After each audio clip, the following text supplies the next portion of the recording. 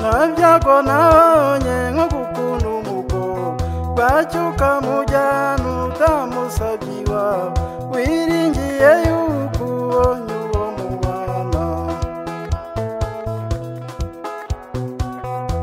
ntabyo ku isi wabona bitaruhije kandi byose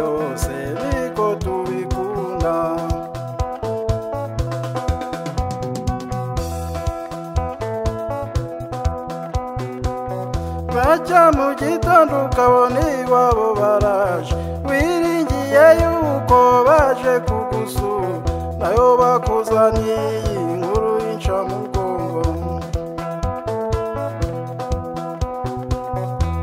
ntabyo ku isi wabona bitaruhije kandi byose niko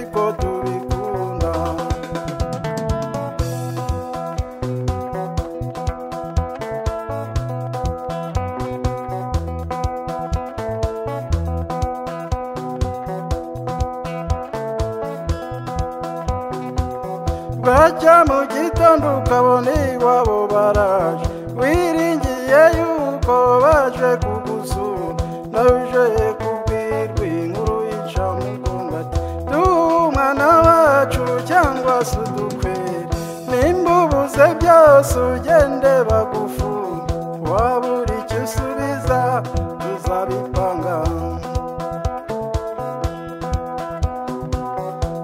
ntabyo ku isi wabona bitaruhije kandi byose niko tubikunda.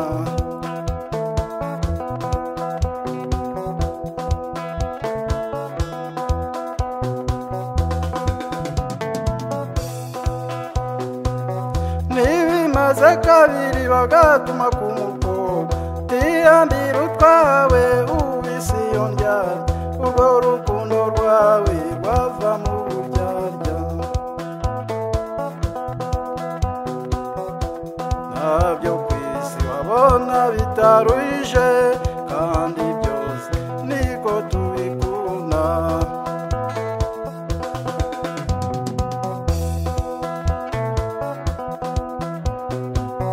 Bacya mu gitondo ukabona iwabo baraje.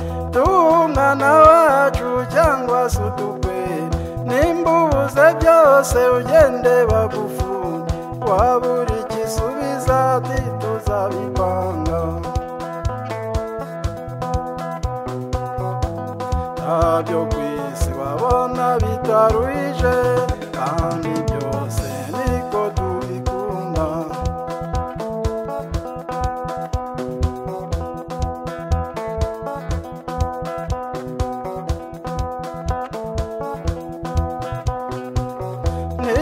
bamaze kabiri bagatuma ku mugo utihambira utwawe ubisi iyo urwo rukundo rwawe rwava mu buryarya.